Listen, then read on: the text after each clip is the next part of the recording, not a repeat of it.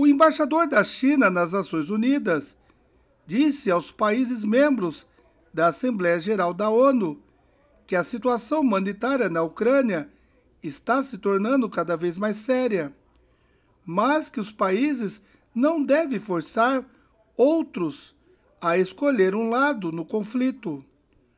O desenvolvimento da situação na Ucrânia até o estágio atual desencadeou amplas preocupações internacionais e também é algo que a China não quer ver.